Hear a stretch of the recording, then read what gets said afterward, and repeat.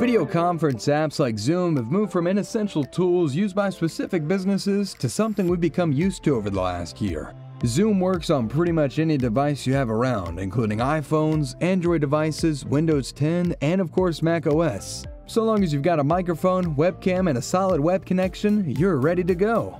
However, if you're ready to move past Zoom on your Mac, making sure you've uninstalled the app correctly is an essential step. Here's how to make sure Zoom is gone for good.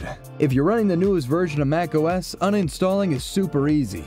Just open the Zoom app on your Mac, click zoom.us on the top left, Click Uninstall, confirm your choice, and you'll be all set. This will delete all accompanying files related to the app as well. If you don't want to open the app, you can also try to delete it using Finder. Just select Finder from the dock, select Applications from the menu on the left, then either use the search bar to look up the Zoom app or scroll down until you find it. Once you've located the app, right-click the app name and select Move to Trash from the pop-up menu. In both cases, make sure you empty your trash after you deleted the app.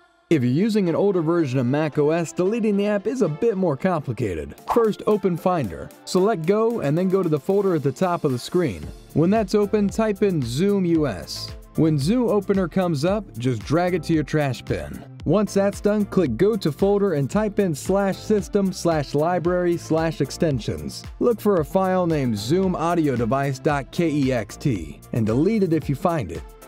Same goes for any tiles named zoom.us and library slash application slash support. If the files are there, just drag them to your trash bin, empty your trash bin, and you're good to go. If you want to be extra sure the app isn't coming back, and you're okay with using terminal commands on your Mac, check out how to delete Zoom's secret server in the link in the description below, under extra precautionary measures. Thankfully, uninstalling Zoom from your iPhone and iPad is much easier. Just find the Zoom tile on your home screen, tap and hold the app icon until the options menu pops up, tap delete, and then tap OK. If you like this guide, make sure to subscribe for all sorts of videos covering Zoom and other technology. And don't forget to check out one of these videos we think you might enjoy.